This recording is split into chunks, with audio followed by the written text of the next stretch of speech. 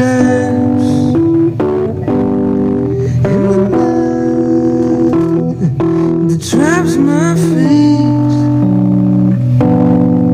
in the empty of my words, only words, all the pieces of places.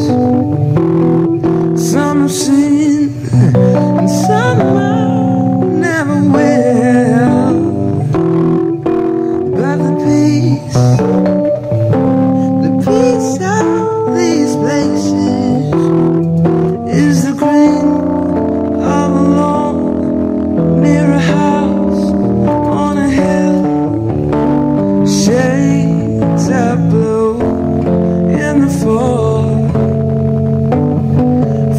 distant sky.